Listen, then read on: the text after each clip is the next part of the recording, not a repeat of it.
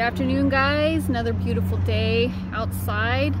We are doing week nine fitness and conditioning. We have three rounds, mostly body weight, a little bit of cardio thrown in there. Um, let me know if you have questions. I emailed the workout to you today. I'm just gonna go over these real quick with you. Okay, let's get started. All right, the first thing we have today is a one minute squat hold.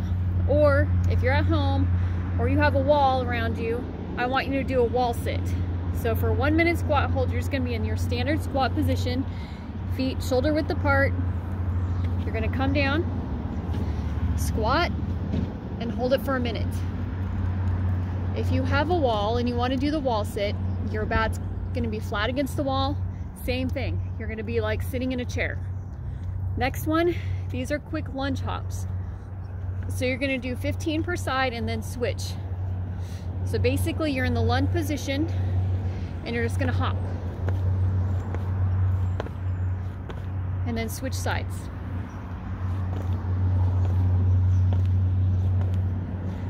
Okay, then we have squat jacks. Again, feet are shoulder width apart.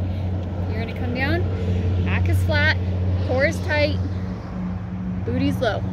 And you're gonna squat in and out, in and out. Squat jacks. Stay low the entire time. Next we have frog hops. So this one, it's kind of like a burpee. You're gonna start, feet are a little bit wider than shoulder width. Hands are between your feet in front of you.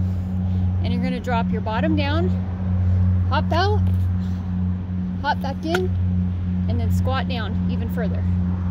Out, in, down. Frog hops. Then we have fence hops.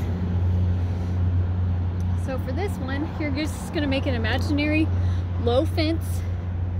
You're gonna start down low and you're just gonna hop over.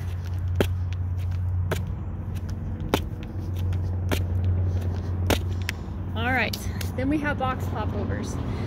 So if you don't have a box or a step up, just do um, squat jumps, sorry. So here, one foot's gonna start on the box, the other one's on the ground. When you come down, you're gonna wanna drop your booty down and all the weight should be on the back of your foot. So you're gonna hop over, touch down.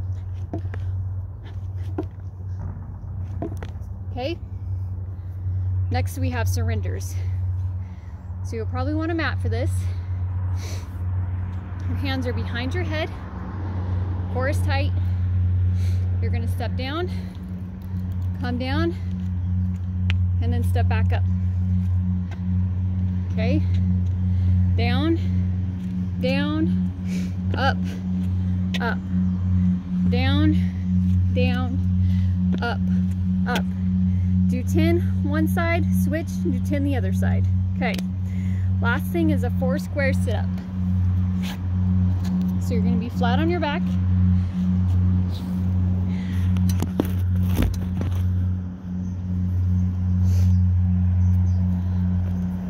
One foot's gonna be on the knee.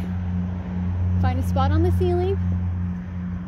Hands are behind the head. Do not pull your chin to your chest. Okay? You're just gonna come up and crunch. 20 per side. Core is tight. Make sure you breathe. Switch sides.